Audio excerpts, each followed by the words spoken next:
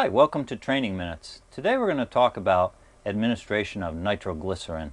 Nitroglycerin given to patients with chest pain comes in two different forms. We see nitroglycerin spray that patients may carry and we see nitroglycerin tablets. So I want to talk first about the spray. You'd give nitroglycerin spray by removing the oxygen device that's on the patient, taking the spray and spraying it under the patient's tongue. The important part about this is that we have a tendency to lean in towards the patient when we remove the mask and spray the nitroglycerin. And I want to show you for a second what the nitroglycerin spray looks like when it sprays. That mist is all medication. If your face is near the patient when you spray the nitroglycerin underneath their tongue, you have a likelihood of inhaling the nitroglycerin and having the medication take effect on you yourself as well as the patient. Not a good idea. The other form of nitroglycerin is nitroglycerin tablets. Now we've taken the patient's oxygen mask off and we're going to give him a nitroglycerin tablet.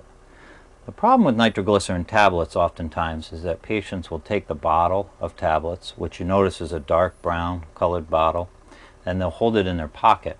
The warmth of the holding tablets in your pocket will cause the tablets to disintegrate prior to their age when they expire.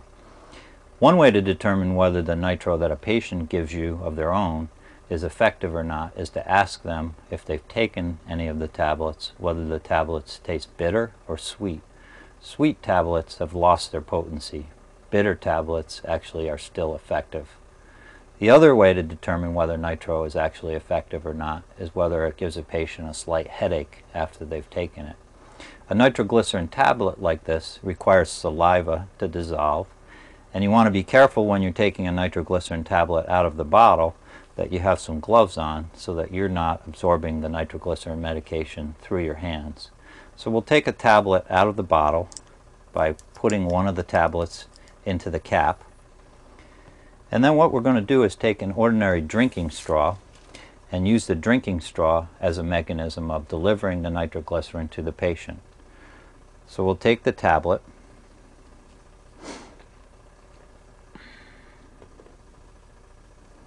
Put the drinking straw into the patient's mouth underneath his tongue and drop the tablet into the straw.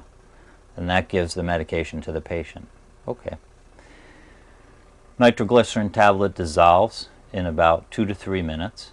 And what you would like to do is look for the effects of the nitroglycerin five minutes after you've given the tablet to the patient.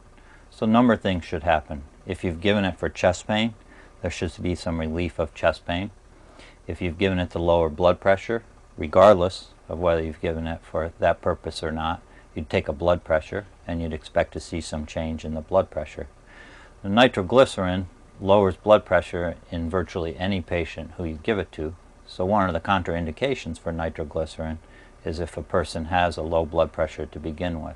And the threshold tends to be a blood pressure of 100, 120 systolic below which you would not want to give further doses of nitroglycerin. You can repeat that medicine, spray or tablets, every five minutes, and most of the time, by the time three doses have been given over the course of 15 minutes time, that's a maximum amount of nitroglycerin, and no further effects would be seen from further administration of the nitroglycerin. If the patient's blood pressure drops profoundly, or if perhaps you've inhaled some nitroglycerin yourself, the treatment for that is to lay the person down until their blood pressure recovers, which will happen when the medication wears off in about five minutes. The other concern about nitroglycerin is the use of phosphodiesterase inhibitors, or drugs that patients may take for erectile dysfunction. And so those are drugs, for example, like Viagra. You'd want to ask a patient if they have used any of those medications within the previous four hours for Viagra 24 hours for Cialis. And be cautious about giving nitroglycerin to patients who have taken any of those medications in the previous period of time. The reason for that is because those drugs are also blood pressure lowering drugs, where nitroglycerin may exacerbate the effect of the blood pressure lowering. Interestingly, despite the warnings about erectile dysfunction drugs or phosphodiesterase inhibitors, There have never been reported deaths of patients who have taken those medications along with nitroglycerin. There have been some reports of extreme lowering of blood pressure, and in those situations you're definitely going to end up in a putting the patient down, doing things to raise their blood pressure back up, for example, raising their legs if that was to occur. It's best to ask prior to giving nitroglycerin so you don't put yourself in that situation. Thank you for watching Training Minutes. I'm Mike McEvoy, the EMS editor for Fire Engineering.